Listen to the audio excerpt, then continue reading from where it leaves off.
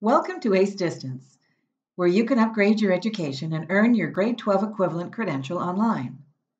ACE stands for Academic and Career Entrance because ACE can help you qualify for college, apprenticeships, and jobs that require a grade 12 equivalent. You've probably seen lots of free online courses you can just sign up for and enjoy. But ACE is different. ACE courses are recognized and delivered by Ontario's public colleges. So ACE has strict admissions requirements. To take an ACE distance course, you have to qualify to be accepted. All the details on qualifying for ACE are listed here in the online learning section of this website. On this online learning page, we show you what it takes to qualify for acceptance to the program.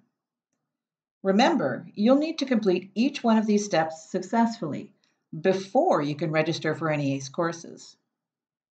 And this process takes four to six weeks.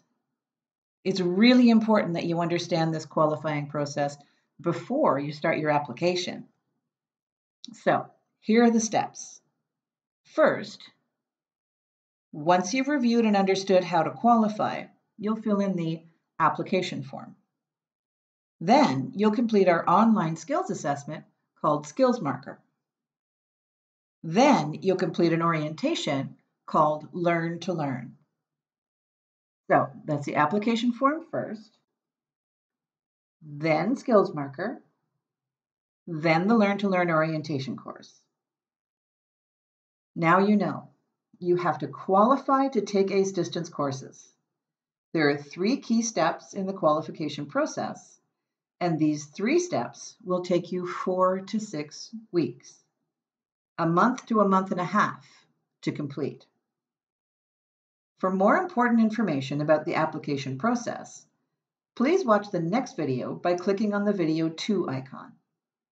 Thank you for visiting ACE Distance.